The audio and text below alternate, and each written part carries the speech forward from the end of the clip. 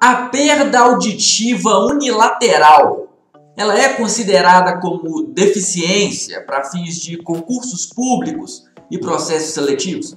Fica comigo até o final, porque essa é uma dúvida de muita gente e eu vou explicar ela aqui de forma clara e objetiva. Meu nome é Thiago Elton, eu sou especialista em direitos das pessoas com deficiência e famílias. E as demandas de concursos públicos, elas são cada vez mais frequentes aqui no nosso trabalho, na nossa advocacia, e essa é uma, um questionamento, na verdade, que tem chegado com frequência já há muito tempo aqui pra gente. Então vou gravando esse vídeo aqui para vocês para explicar de forma clara e objetiva. Veja bem, pessoal, a perda auditiva, né, unilateral é uma situação que alcança muitos brasileiros, muitas pessoas. Né? E aí a galera tem essa dúvida: eu posso prestar concurso? Eu sou considerado como pessoa com deficiência? Né? E aí o que, que acontece na prática? Os concursos públicos, os processos seletivos, né? via de regra, eles ainda aplicam é, de forma estrita, de forma taxativa, um decreto né, lá de 99, o decreto 3.298 de 99, tá? Lá define a deficiência auditiva como sendo a perda bilateral, tá certo? Parcial ou total de pelo menos 41 decibéis, né? Ou seja, 41 decibéis ou mais ali de perda, né? Fazendo essa aferição por audiograma na frequência de 500, de 1000, 2000 e 3000 Hz. Pessoal, grosso modo, o que, é que esse decreto fala? Que um critério médico iria estabelecer quem é a pessoa com deficiência auditiva. Né? Mas quem acompanha o nosso trabalho, quem acompanha os vídeos aqui no canal, já sabe que esse modelo médico da deficiência ele já caiu por terra e hoje deve prevalecer o modelo né, de análise biopsicossocial da deficiência. Muito embora na data de gravação desse vídeo o, o, método padrão de avaliação da deficiência, né, avaliação biopsicossocial, o IFBR, ele está em fase de implementação, mas muitas bancas de concursos públicos já conseguem aplicá-lo ainda assim, e também existe a maneira né, de se aferir a deficiência através das equipes multiprofissionais, tá bom? E não de uma equipe estritamente formada por médicos. Isso quer dizer o quê? Que a eliminação do candidato, mesmo que tenha a perda auditiva unilateral, com base estritamente nesse critério médico, ela pode ser questionada, tá? Via recurso ou judicialmente. Nós sabemos que não é só o critério médico que vai dizer. O que tem que ser analisado é essa perda auditiva, ainda que em um ouvido, ela coloca esse cidadão em desigualdade com os demais? ela coloca esse cidadão em situação de desvantagem competitiva, ele enfrenta alguma barreira por causa disso, né? de repente na colocação no mercado de trabalho, de repente né, na sua participação social, se ele tem de repente alguma outra deficiência associada, não sei. Temos que analisar porque o caso concreto é que vai dizer se esse cidadão tem direito ou não. Mas na prática, como é que está acontecendo? Ah, Tiago, eu conheço alguém que tem perda unilateral e que tomou posse no concurso público X, lá no órgão Y.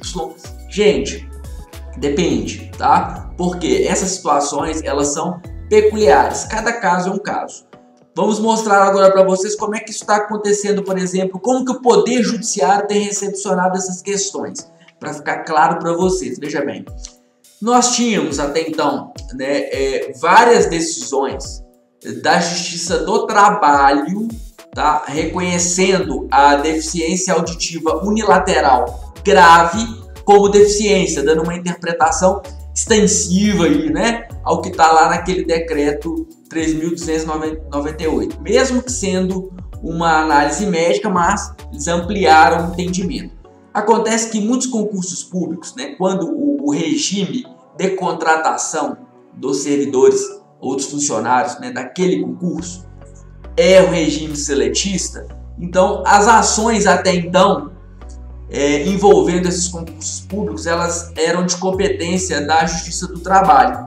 Né? Então, a Justiça do Trabalho começou a formular esse entendimento. Existe, inclusive, um entendimento, de certa forma, até pacífico do, do órgão superior, né, do, do, do TST, tá do órgão especial do Tribunal Superior do Trabalho, na verdade, e a, o entendimento predominante na Justiça do Trabalho é esse, que se a deficiência unilateral, né, auditiva, ela for considerada grave, esse cidadão ele deve ser tratado como pessoa com deficiência para fins né, de participação aí na reserva legal de vagas, tá?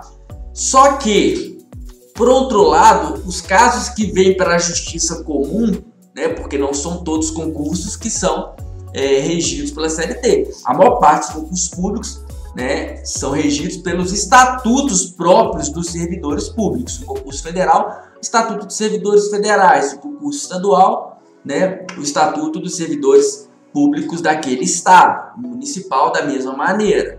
Né? Então, as ações envolvendo esses concursos públicos, elas tramitam em, em via de regra na justiça comum. E aí, na justiça comum, isso não é tão claro assim.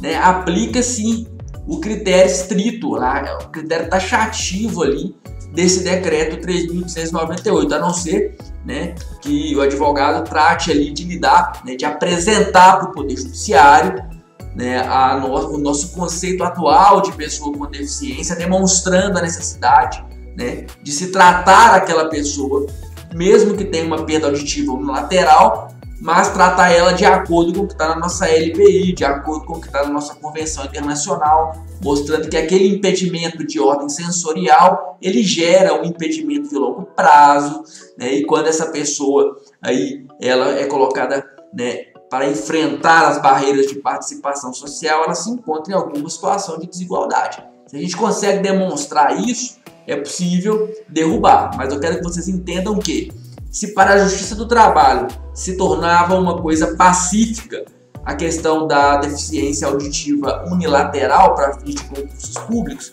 isso já não era, não é tão claro assim para a justiça comum.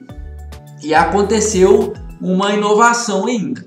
Em março agora de 2020, o Supremo Tribunal Federal, é, em uma decisão de repercussão geral, ele decidiu que mesmo nos casos em que os concursos públicos aplicarem o regime seletista, o regime de CLT, as ações que versem sobre esse concurso público antes da fase de contratação, elas devem tramitar na justiça comum e não mais na justiça do trabalho. Então, a tendência é de agora para frente ficar ainda mais rígida a, a admissão né, dos candidatos com deficiência auditiva unilateral para fins de concursos públicos. Tiago, quer dizer então que não vai ter chance? Não é isso que eu estou dizendo. O que eu estou dizendo é que o que prevalece é o modelo de avaliação biopsicossocial. Diante do critério estritamente médico, se ele for aplicado pela justiça comum, esse candidato está fora.